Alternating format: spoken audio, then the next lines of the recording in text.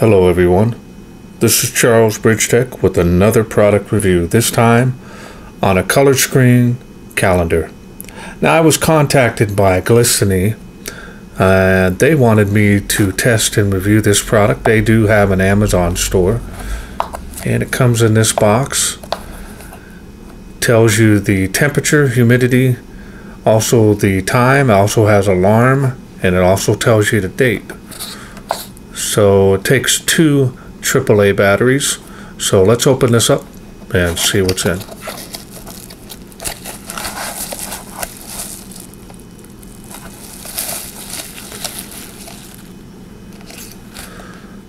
Now I've went and put batteries in it already and as you can see it does have a display on there but it's very dim and usually you can read it in the daytime if there's light on it. But if not, if you want it to have the LED light at all time, you can turn that on and I'll go ahead and show you the display on that. And it's showing you the temperature in my house is 75 degrees. And as you can see, the display is very bright and very clear. Also tells you the weather outside. 40% humidity. Now this light will automatically go into a standby mode and I'll show you that to conserve battery.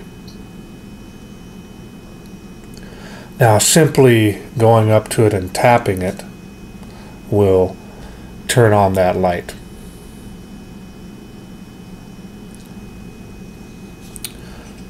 And we'll show you the back of it here where the alarm speaker is at show you the battery compartment. I'm running the Duracell copper tops.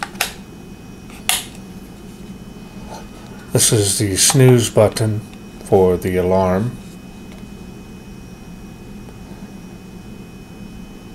And you can set the time and date. So now shows you the time. You can actually change the mode to show you the date and the alarm time that's set. You can change that to Fahrenheit or Celsius.